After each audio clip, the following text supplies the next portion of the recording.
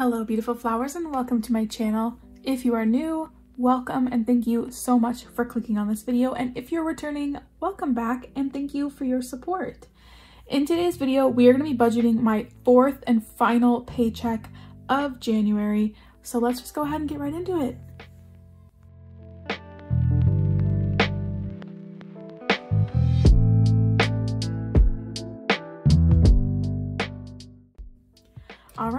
So we have my worksheet in front of me here. I'm gonna zoom you guys in just a little bit. I should have done that before I hit record, but that's okay.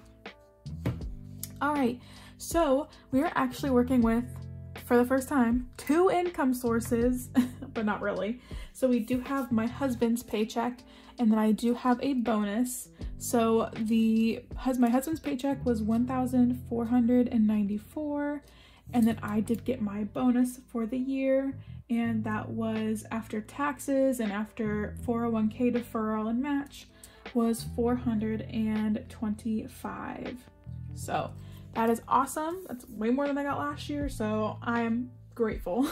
so our total um, amount that we are working with, so 1494 plus 425 is 1,000 919, which I think is honestly the most I have ever budgeted for. So I think, although Zach did have a paycheck, I think a few months ago, that was around 1900 that were like, huh? How?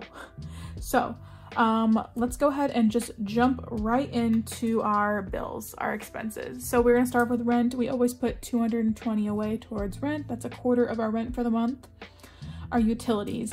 Now, okay, I really need to quickly, I'm sorry, I should have done this before I um,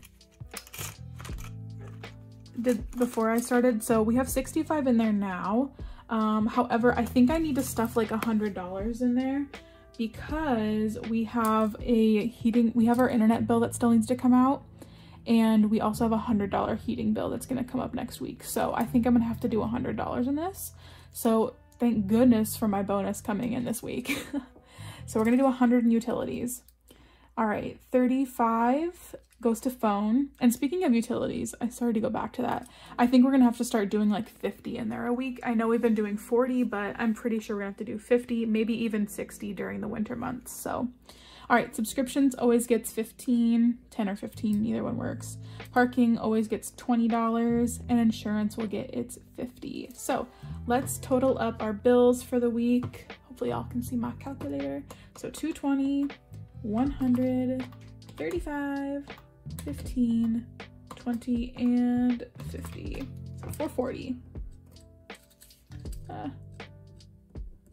there goes my bonus. Not really. All right, and then our cash envelope. So our amounts that we've been using for our cash envelopes for the past few weeks have been working rather good. So I'm gonna stick, um, I'm actually gonna go up just a tiny bit because we have a few essentials that we need to get for our groceries. So I'm gonna do 85 in groceries. And then eating out, I'm gonna do 65. Gas, I don't think I'll need gas, but I might as well get some. So let's do 70 in gas this week just so I can fill up. Um, my spending and Zach's spending will both be 30 this week. So let's go ahead and total up our cash envelopes.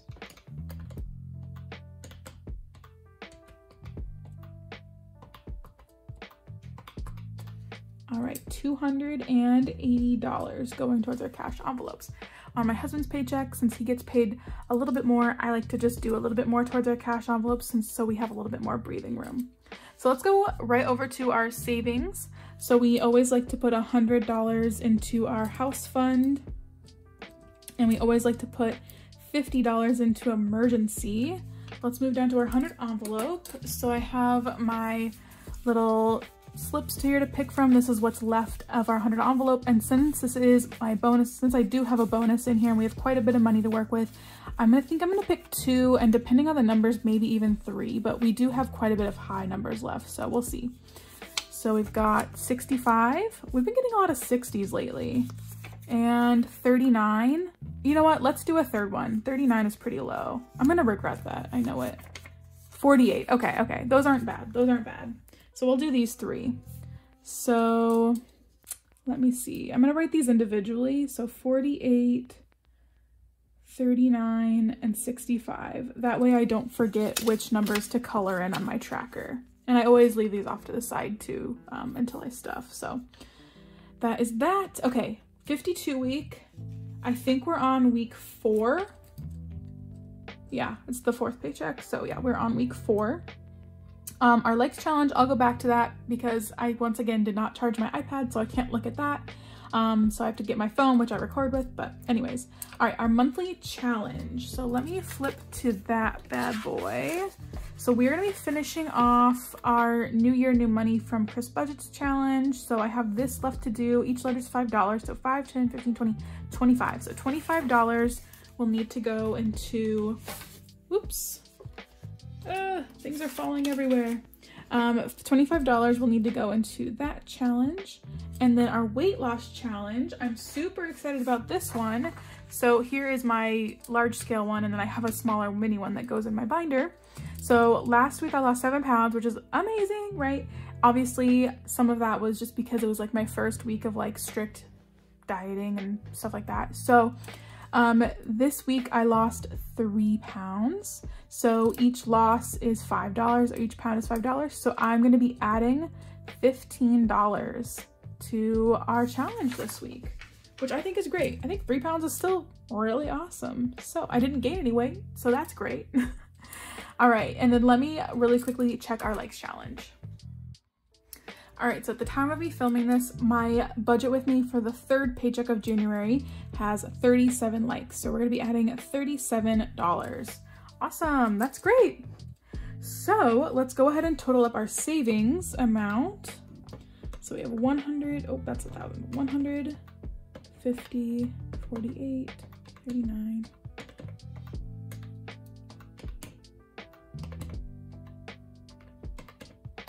All right, $383.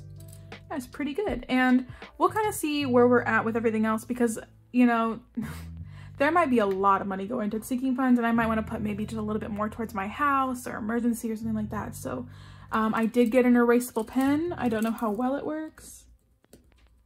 Oh, looks like it works pretty well. that was a good test. Um, so if I do need to, you know, redo any of this, I can. So I finally got that. So let me grab my sinking fund binder so we can go through and see which sinking funds I have trackers for, which sinking funds I know I have to put certain amounts in. So let's start off with the front of the binder here. We have baby. So baby always gets $33. So I'm gonna do that. Let's see, electronics. So we do have a tracker for this one. So let's do kind of a high one this week since this is a larger paycheck. I think the largest number on here is a 50. So let's knock out one of these 50s. Let's go ahead and put 50 into electronics. Um, oh, I still need to erase this, um, but we do need to start our $100 date night over. So we are going to, um, let's put 40 into Valentine's Day. And then we will come back to these. All right, Black Friday. So um, I do want to knock out a large one. So let's do 30 into Black Friday. Let's knock out one of these large ones. And Christmas. Each one of these is 15. So let's go ahead and do 30 into Christmas. And Mother's Day, we always do 15 into Mother's Day. All right. And, oh, and I can't forget furniture. So our goal for this month was to get furniture to 1,000. So it's currently at 938. So 1,000 minus 938. So we need to add 62 to furniture to get it to 1,000. So that is the last one that we have a guaranteed, we know that one needs to get that amount. So what I'm gonna do now is I need to see how much we have left over in our budget so I can make adjustments. So I'm gonna deduct from our 1,919, I'm gonna deduct our bills, our cash envelopes, our savings, and then the sinking funds that we do know to see how much we have left. So let me do that really quick.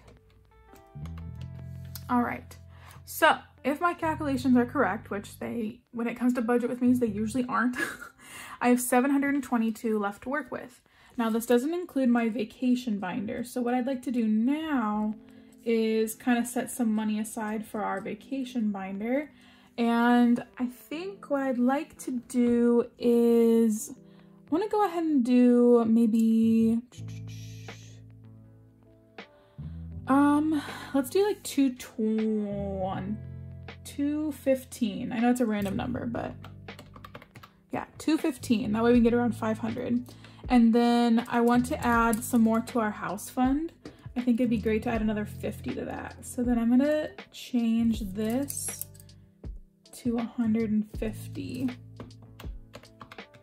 So we have 457 left to work with. So I'm just gonna jot that down here because I need to adjust our savings total.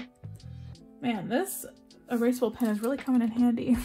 So 150 plus our 50 of emergency, 48, 39, 65, 4, 37, 25, 15.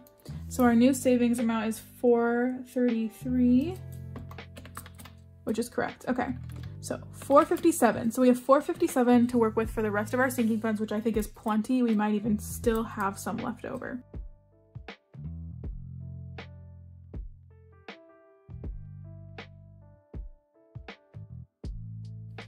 Okay, something went severely wrong with my calculations. I don't know what it was, but we did not get 717. So um, what I'm gonna do is I am gonna start from the basis here. So we have 19, I'm gonna restart basically for my sinking funds. So 1919, we got 440, we got 280 for my cash envelopes, we got 433, and then we've got 215 Let's just do 200. Let's just do 200 for my vacation binder. That 15 is making me real confused. So, okay. So 1919, 440, 280, 433, 200. So we should have $566 for our sinking funds. Now, we do have, you know, the ones that we filled out. So we have 566, so we have our 62 for furniture. We have our 33 for baby, our 50 for electronics, Valentine's Day, Black Friday, Christmas, and Mother's Day. So that is 306. Now that is more reasonable. So 306. Now thank goodness for my erasable pen because otherwise I would have had to have written everything out again.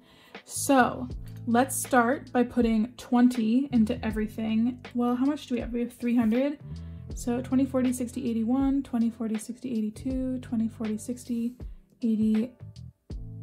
Yes, okay. So let's do 20 into all of these.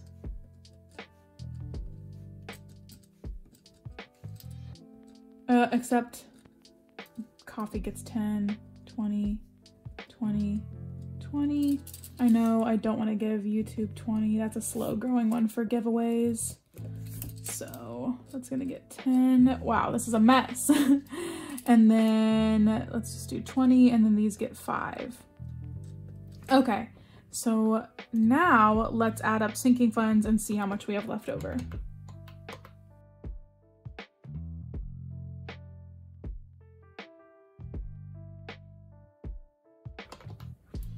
Okay, so we have 515 and then we need five, we have 566 to work with. So we have $51. Hopefully we have $51 left to work with. So I know I wanted to put more in Costco. So let's put 40 into Costco. So minus another 20 on this. So 31. I know I wanted to put more into health. So let's put another 10 in health.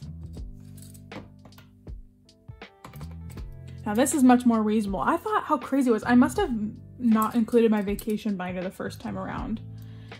Um, 21 left to work with. Um, I want to put more into car to build that back up after spending it. So what did I have in there? I had 20, so let's do another 10. So I have 30. And then 11, let's go ahead and give that to Zach and do 31 for Zach. Okay, so let's total this up and hopefully that equals the 566.